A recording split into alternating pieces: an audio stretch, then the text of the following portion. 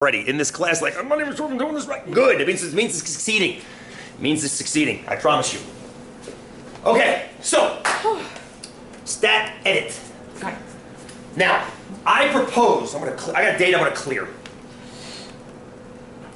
Clear it all out, clear. I propose we put all this in at once, which is gonna make life easy. Let's put the ages in L1.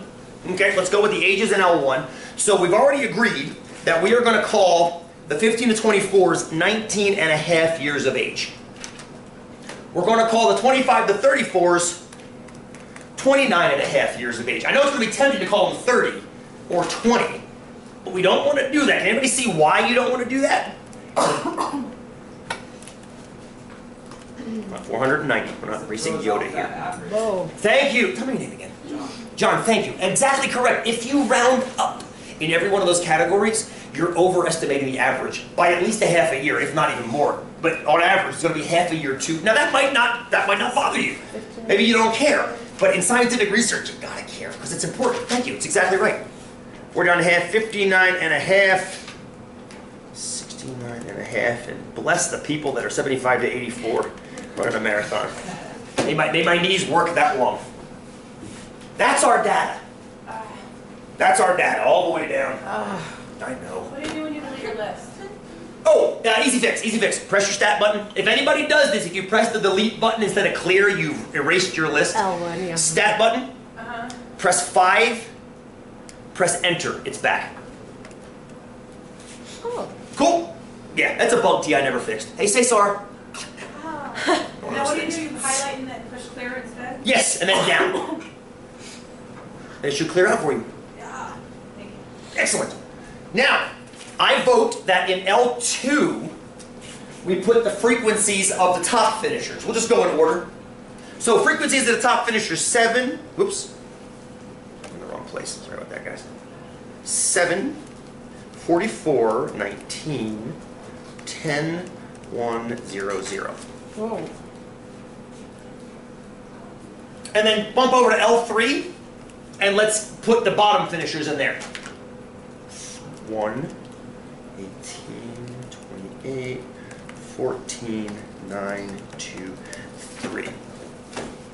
Now you might be wondering, we're about to test the, the whole bell curvedness that Candace and I think Andre and Sandra were all, were all talking about. I want to test that. Instead of going right to calculating an average, I want to look at the data first. Why would I want to look at the data before just calculating an average and saying the average is bleh? Why look at it first? Any idea? Why look at it first? What could you tell by looking at it? We've mentioned this a couple times today already. Outliers. Whether it's got outliers, I love that. Whether it's got outliers, yes. Because if it's got outliers, we're generally going to call it what? Skewed. Right. And if it's skewed, where does the average go? You remember? What the outlier chases whom? Damn it! The average chases the outliers. Question backwards in my mind there. Yeah, the average is going to head towards the outliers, and that's a problem because outliers, by definition, by loose definition, are unusual data. But an average should be typical data. So if the typical data point is chasing the unusual ones, you're getting kind of a skewed version of what typical looks like. Does that make sense? So by looking at the data and saying, yay, it's Bell, or nay, it's not, we can decide whether or not we want to use the average as an, as an indicative measure of center. Is that fair? If we don't use average, what can we use instead? What, got some choices? What else could you use? I know it's early. I'm sorry I'm yelling at you already. Median, yes, and mode, sure. But I like using the average because the average can have a standard deviation attached to it. So let's see if we can even use that. Let's take a look at the top finishers first, shall we? I think we shall. So, second y equals. Let's turn one plot on. I now have two. I'm going to turn one of them off. Let's just look at plot number one on. Make sure it's a histogram. This is probably already set up from the last thing you did, I'm guessing. Make sure the X list is at L1, yes. Here's the kicker though. Make sure the frequency says L2.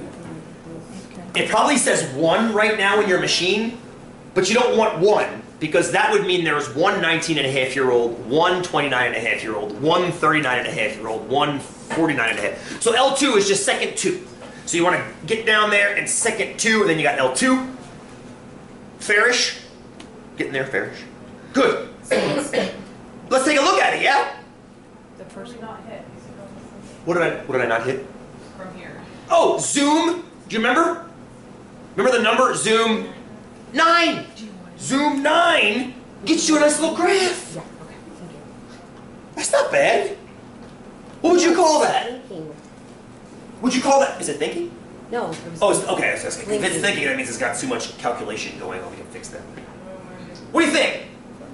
If you had to call that something, would you call it skewed? It is skewed. It is skewed. You just hit- Nothing is going to be perfectly unskewed data. I mean, if you get perfectly unskewed data, that's when Harrison Ford runs away from the guy with one arm trying to kill him. Uh, back to that again. But the question I have for you is, do you think it's bellish enough to call it good? Your opinion, your opinion. Who says yes? It is? Awesome. I say yes too. Who says no, it's not? Put your hands up. If you say no, it's not. You're not wrong. Put your hands up. Good for you. There are other tools we can use. Well, it's skewed. That's totally fine. That's totally fine. It is skewed. I guarantee it's skewed. The question is, is the skew so great to mathematically change the average? That's a judgment call statisticians make every day of their lives. If you say, yes, it's okay, as I do, I say it's okay. That's just my opinion. You don't have to agree with me. Ah, not at all. You can say, no, it's not. I can live with that. I can live with that. Candace, go. Mine doesn't look like that. It doesn't. I'm wondering if Mine it's doesn't look like that either. with all those numbers last time. Let's take a look at the break. After we get, I want to get graph number two turned on. We're almost to the break. I want to get graph number two turned on as well. Now, here's a problem. I'm going to show you something real quick. I'm going to turn a second histogram on. The second histogram is going to be uh, the bottom finishers. Okay, so what we're going to do. Don't do this right now. We're going to get you guys caught up in a second. Here's why you don't do it this way. Okay, you ready? Okay. There's two histograms there. Can you see them? Uh-huh. How well can you see them? Not very well. Right. The problem is they're sitting on top of each other. They're the same color. They're both transparent.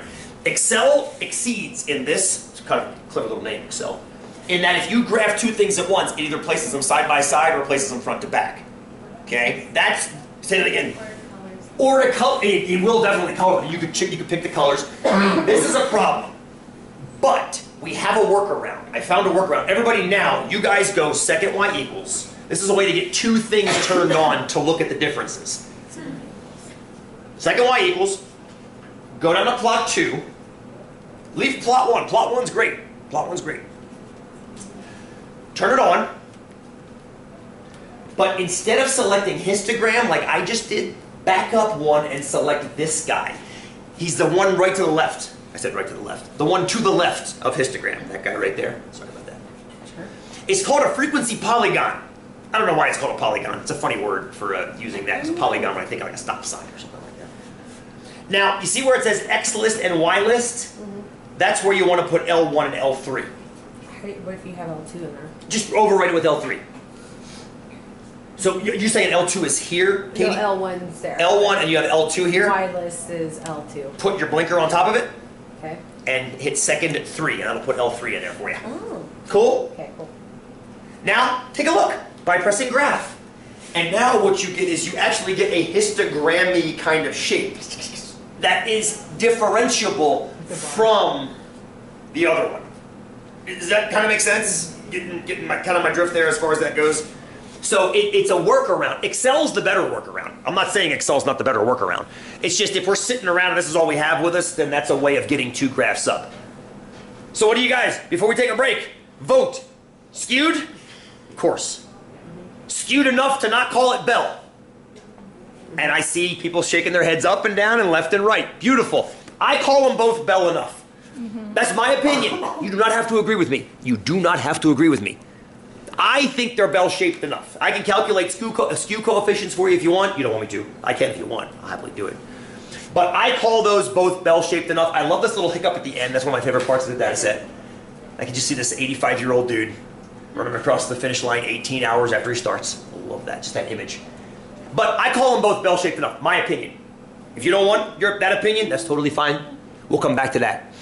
What you do right now is take five, because I want to come back and make sure we can pull the measures of center off of these data sets too. Whether you use median or average or mode, whatever you want to use. Cool? All right, take five. Let's come back and do it.